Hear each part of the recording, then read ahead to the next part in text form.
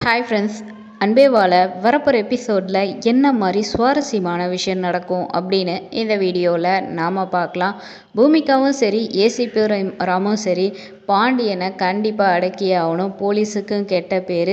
பூமிகாவால் போராடுறதுக்கு ஒரு பெரிய தடையாக பாண்டியனும் சரி வாசுகி இருக்காங்க. இதுக்கு ஒரு முற்றுப்புள்ளி கண்டிப்பாக ஏசிபி ராம் வைப்பாருன்னு நீங்கள் நினச்சிங்கன்னா நம்ம வீடியோக்கு ஒரு லைக் பண்ணிக்கோங்க. ஸோ ஏசிபி ராம் கிளியராக டாக்குமெண்ட்லாம் வெரிஃபை பண்ணிவிட்டு இதை கையெழுத்து வாங்கி வரணும் அனுப்புங்கன்னு சொல்லிட்டு போனார். ஆனால் இவங்க பண்ணி வச்சது ஏசிபி ராமுக்கே அதிர்ச்சி கொடுக்குற லெவலில் தாங்க இருக்கும். ஸோ ஏசிபி ராமுக்கு ஆல்ரெடி தெரியும் பாண்டியனோட நடவடிக்கைகள் எல்லாமே அந்த விஐபிக்கு ரிலேட்டடாக இருக்குது அப்படின்றது. ஸோ நேர்மையாக நடந்துக்காதது ஏசிபிக்கு ரொம்ப கோபம் வரும்.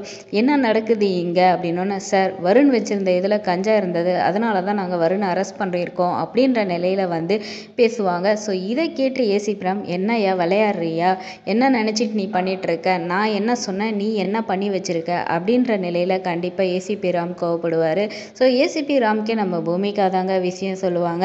நான் வந்து ஃபஸ்ட்டு பாண்டியன்ட்ட கேட்குறப்ப பூமிக்கா வந்து பூமிகா கிட்ட என்ன சொல்லியிருக்காங்க அப்படின்னா ஸோ வருண் அவங்க அம்மா கூட்டிகிட்டு போயிட்டாங்க அப்படின்றாங்க. ஆனால் அங்கே போனால் வருண் இல்லை என்ன நடக்குதுன்னே தெரியல. கோர்ட் உங்களை தானே ஒப்படைக்க சொன்னாங்க. எங்களுக்கு வருண் வந்தே ஆகணும் அப்படின்ற நிலையில் வந்து பேசுவாங்க. ஸோ அந்த அடிப்படையில் தான் ஏசிபி ராம் பாண்டியனை வச்சு விசாரிப்பார்.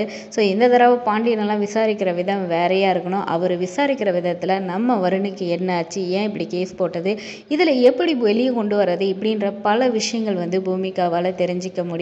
அதே மாதிரி ஏசிபி ராம் பாண்டியனுக்கு தண்டனை கொடுத்து அவனை ஆஃப் பண்ணாதான் அடுத்து வாசுகி ஆட்டத்தை ஈஸியாக ஆஃப் பண்ண முடியும். அதுக்கப்புறம் விஐபியை ஈஸியாக பிடிச்சிட முடியும். ஸோ வெயிட் பண்ணி பார்ப்போம். பூமிகா எப்படி மறுபடியும் நம்ம வருணை மீட்டெடுக்க போகிறாங்க வருணுக்கான பிரச்சனைகளை எப்படி சால்வ் பண்ணி வருண் அவங்க அம்மா கிட்ட ஒப்படைக்க போகிறாங்க அப்படின்னு இந்த வீடியோ உங்களுக்கு பிடிச்சிருந்தா லைக் பண்ணுங்கள் மறக்காமல் சேனலை சப்ஸ்கிரைப் பண்ணுங்கள் தேங்க்ஸ் ஃபார் வாட்சிங்